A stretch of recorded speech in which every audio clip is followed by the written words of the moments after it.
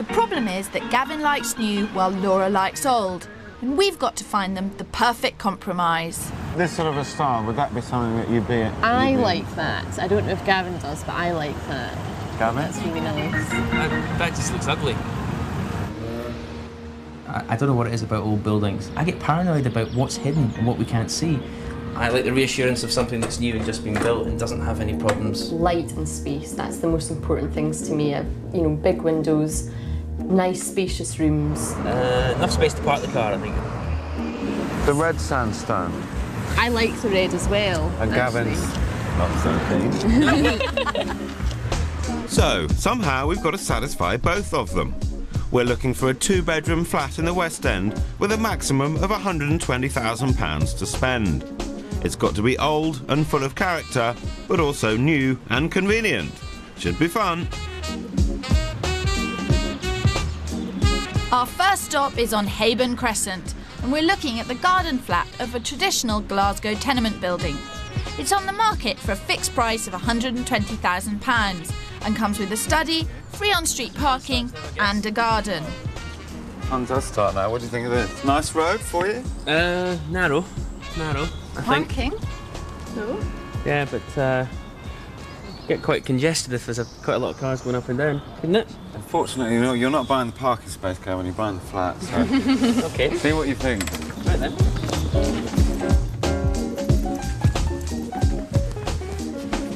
This is a fantastic room. It's lovely. Great. And it's it's an it's a cosy room, isn't it? Great fireplace. Yeah. It's been put in recently, though, isn't it? And that looks like it needs a bit of work up there, doesn't it? Someone has put in a new cornice in this room and hasn't put it in particularly well. Not off to a brilliant start then, but there is a hidden attraction. Oh, I like this. This is a real This added bonus. really this room. cool. Love the idea of a study. Basement flats tend to be dark, but this one's brighter than most. And because it's a conversion, it has extra hall space where the stairwell would have been. It's got more than enough character to please Laura, and even has its very own back door leading onto the garden. It's very charming, but I don't think it's the one, I have to say. I think there's too many things we'd want to do, and considering the price as it is already.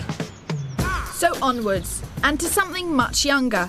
Gavin's had to go off to work, so Laura is viewing our first modern property. It's a new development at Waverley Gate. It's got all mod cons, it's got two bedrooms, it's even got two bathrooms, and it's on the market for offers over 89,000. Let's see what Laura thinks.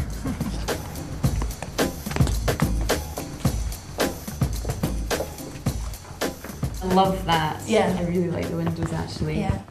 Do you know the one thing about this place which Gavin will love? Parking space. And Yeah. he can even watch to make sure Yeah, his he can get up in the night. But at this stage, it doesn't always pay to fall in love with a view. Of looking out the window then and there and thinking, right, that's my view. Yeah. And they come back in six months when, you know, they've got it. And it's a completely different view. It's something that your solicitor would check as part of a Uh-huh. local search. Yeah. I think Gavin will like it. The only thing I would say is that it wouldn't give us a huge amount more space than we've got at the moment.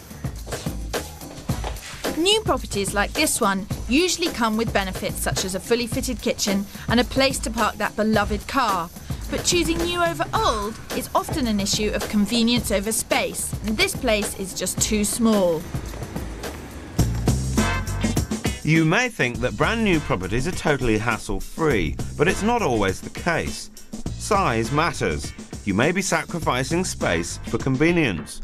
Will your huge bed or your antique furniture fit into the standard domestic space of modern homes?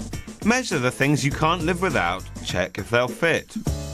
Have developers scrimped on the fittings, fixtures, and workmanship? Check brand names. Have they bulk bought the cheapest stuff available? Open drawers and look in cupboards. Have shortcuts been taken? Trust your instincts. You're more of an expert than you think. Developers will build on every inch of land available to them, so don't go on the artist's impressions. Will that view of mature trees and landscape gardens ever be realised? Or will a block of flats arrive in their place? So, for our next property, it's back to full scale Victorian values a tenement in Hyndland. We're here on Novar Drive to see a flat in a typical Glasgow red sandstone tenement. This property has just come on the market, so we haven't had a chance to see it yet. And considering this is one of the best addresses in Glasgow, the offers over 83,000 seems quite reasonable.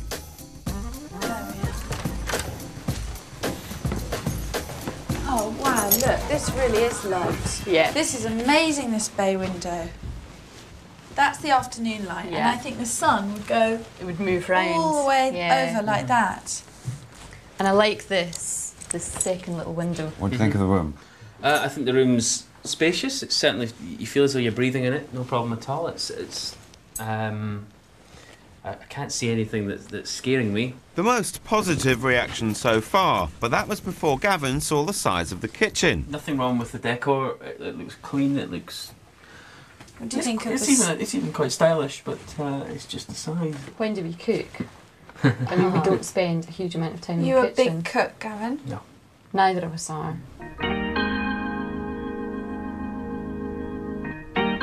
I get the feeling you really like this place, don't you? Yeah, I do. I just I don't, don't know what it is about the kitchen. I, I take great pride in my in, in my home, and I want people to come in and go, God, this place is really cool. And uh, I think the first thing that people are going to say, Gavin. maybe I'm thinking of my mother. I don't know. Maybe mum's going to come I in and go, despair. that kitchen's terrible, but it's it's just a bit But the whole tight. other flat is lovely. I There's agree. nothing wrong. It's I absolutely agree. brilliant. There's so much space. And I'm we don't need space in the kitchen. I'm such what do we do in the kitchen? I don't know. I just I just don't like it. I don't like it being so small. Look, acres of cupboard. All we need is one under the sink. Look at that. Loads of food. All our dishes in here. And that's all we need. At offers over £83,000, this flat is full of potential. I feel sure we'll be back. If you're thinking of buying a flat in a tenement or period property, there are a few things you should consider.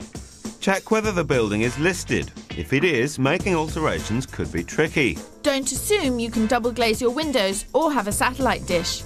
Talk to the neighbours and explore the whole building to see how well it's maintained. Find out if there are any major works imminent and how much they will cost you. How do you feel about communal living? Find out who's going to be living in the flats around you. Is there a DJ above you, teenage tantrums below, or students next door? Come back at different times of day to listen out for noise. Water pressure can be a problem on upper floor flats.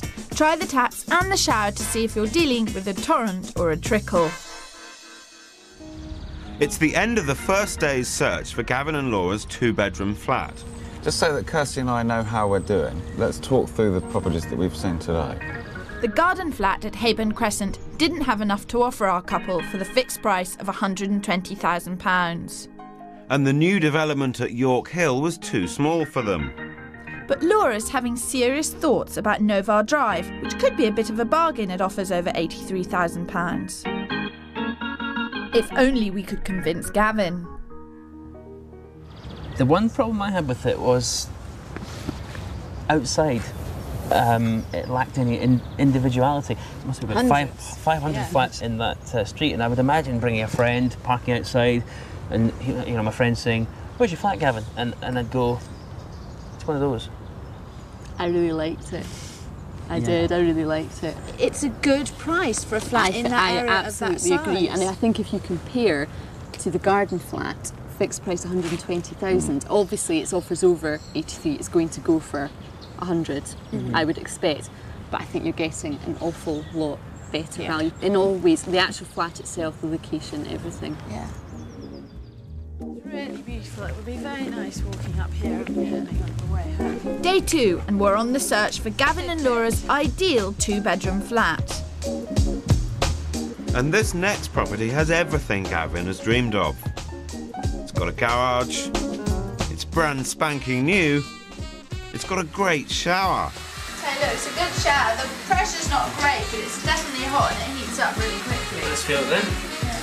And although it's a little on the small side, it's beautifully finished and very snazzy. It's a lovely kitchen. Oh yes, I like that as well. dryer. That makes a difference. No space for dishwasher, I'm afraid.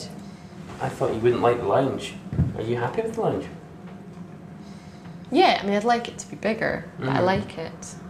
I do like it. I don't like the outlook, and I also have a vision of a drunk person standing on that wall and like banging on my window. I'll try not to do that too often.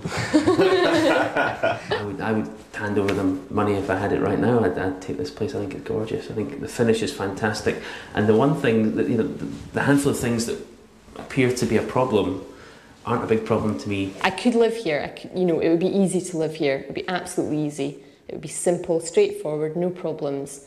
But I don't think I love it. And I want to love it. Gavin's sure he's found his new home, but Laura's still attached to the character of Novar Drive. This is a classic case of new versus old, and one of them is going to have to compromise. What they don't know is that we may have found them the solution to all their problems.